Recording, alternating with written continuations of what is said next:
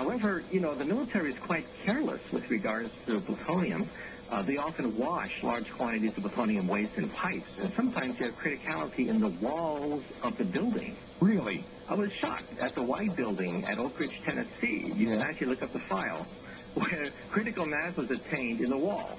Wow. And uh, people walking in and out uh, were hit with a fair amount of radiation as liquid, uh, in and out, when critical and when out of critical, when in critical, out of critical, over a period of hours. But still, in all, people doing that kind of work are required, are they not, to wear badges that would have reflected the uh, the dose they were getting, wouldn't they? Well, believe it or not, in order to reconstruct the, the dose, uh, they put a donkey in that same room, and they had the donkey uh, be exposed to critical mass from the wall to calculate exactly how much radiation the workers got. Huh. This is how careless. Um, you'd be shocked when you read the files. But, but again, they, they, weren't, they, they, weren't wearing uh, uh, dosimeters?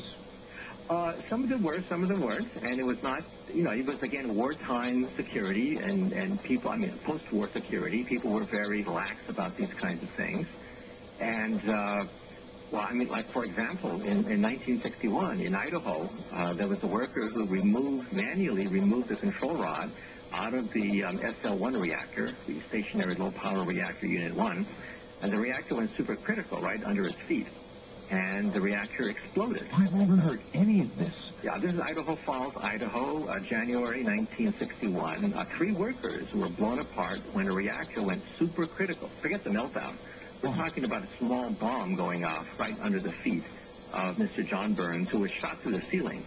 The explosion was so great that the control rod went right through his body and impaled him, his body on the ceiling of the oh reactor. God, I, I, I, haven't heard any of this. Uh, Professor, hold on. We're at the bottom of the hour. I haven't heard any of this. Have you all? Have you ever? Have you heard these stories before? I certainly haven't. Ay, ay, ay. What a beginning. I'm Art Bell.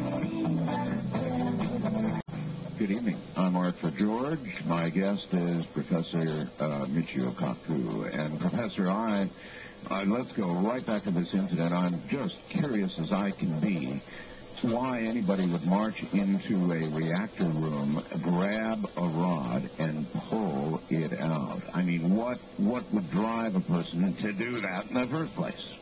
Well, uh, Mr. John Byrnes, back in January of 1961, was sitting on top of the stationary low power reactor Unit 1 operated by the United States Navy. Yeah. And he was told never ever remove central control rod number 9 more than 6 inches. Right. Because if you remove the control rod, which regulates the chain reaction, dampens the chain reaction, if you remove central control rod number 9 more than 6 inches, the reactor would go supercritical, and it would, in fact, uh, explode. That seems uh, like an extremely serious warning. That's right. Yeah. Uh, the, you would get supercriticality, heating would occur, water would boil, and the boiling water would then create a steam explosion, which would blow the whole thing apart. Very bad. Yes. Well, that's what happened. Uh, reconstructions of the accident show that he tampered with central control rod number 9 and removed it two feet two feet now, out of the reactor. Do we have any idea why he would do something with such a strong warning attached to it? Why would he do that? Well, first of all, we have to realize that reactors will blow up under certain conditions. It's often stated that reactors do not blow up like Hiroshima bombs. No, they don't blow up like Hiroshima bombs, but they do blow up like Chernobyl, like SL1. Right. It'll explode, steam explosion, hydrogen gas explosion. right. created by supercriticality. It will blow a reactor and blow the roof right off. Gotcha. There are two theories. Uh, the dominant theory is that he slipped. He was making routine repairs, oh. Um, oh. and he slipped. It was New Year's. It was right after New Year's. He was probably a little tipsy, and uh, he uh, removed the rod and then slipped, and it jerked two feet out of the reactor, blowing him uh, to pieces. I mean, it shot him right through the, the ceiling of the reactor. He was impaled. Yeah, you said he was impaled by the rod itself, and it hit the ceiling. Well, then what? Uh, then um, reactor crews, uh, safety crews went into the reactor site to find out what happened. They found that radiation levels were about 1,000 rads an hour. Uh, 500 rads will kill you. It was 1,000 rads an hour. Oh. Uh, just a few minutes in that site, you would get already the year's uh, maximum dose of radiation. Right. And they, they found two dead bodies on the ground, uh, and they looked for the third. They were they made repeated entrance into the reactor looking for the third. Finally, according to the report, one of the workers looked up and saw the third body, uh, John Byrnes, impaled on the ceiling. Now, there is a second theory that uh, proponents of nuclear power like to make, and that is that he was, John Byrnes was involved in a love triangle, and that he wanted to commit uh, suicide and therefore blow one of the other rivals, also the Kingdom Come. And so he was apparently distraught and blew himself and his coworkers that were his rivals uh, to bits uh, using nuclear power plant to do it.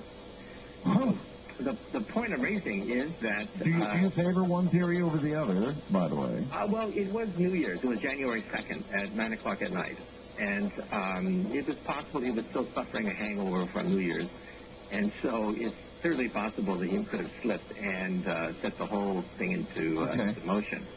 But, you know, we have to realize that, you know, nuclear power plants can become unstable. They don't simply melt like Three Mile Island. Uh, they can explode like Chernobyl. Uh, they can explode like the SL-1. And they can go supercritical.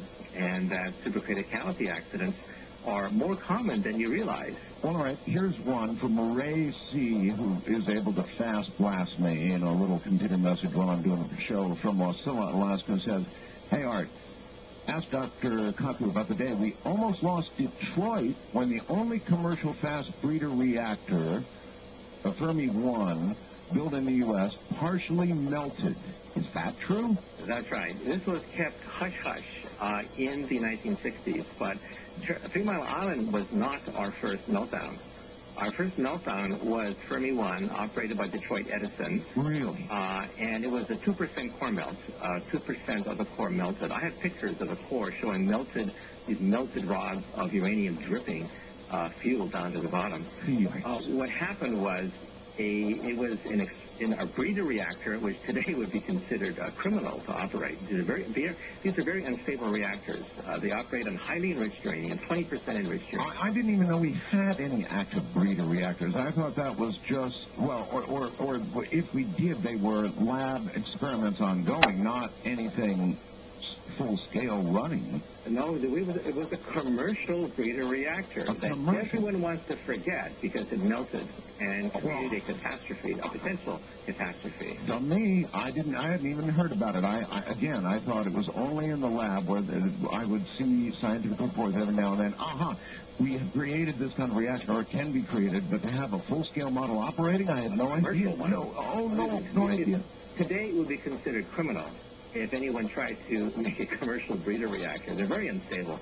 Uh, the very first breeder reactor, the EBR-1, actually melted back in the 1950s. It was one of the first major melts of a nuclear reactor. They, they were able to stabilize it about one second before it would have exploded. Well, right. Anyway, then in the 60s, they had a commercial, not an experimental, a commercial reactor. Well, how did that happen? I mean, how did we get a commercial reactor? If it's something that's not even safe in a lab, for God's sakes, how could it get built as a commercial reactor? Well, they were cowboys in those days. Man, I guess. they thought they were pushing the envelope, and that they were they, they were the cowboys that were going to tame the atom. well, yeah, but if you if you can't contain this thing in the lab, how can you build something commercially based on what? Well, you can, but they did. But they did. Oh.